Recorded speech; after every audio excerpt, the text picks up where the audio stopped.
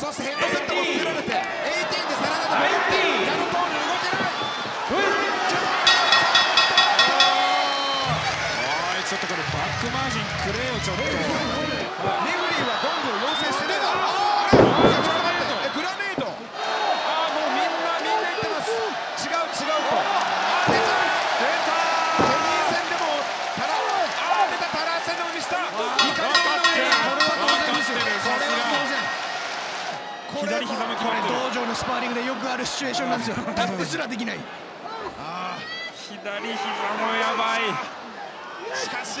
右足が軸になって左膝も逆に曲げこれはチャンピオンとしては屈辱的ですね。歴史が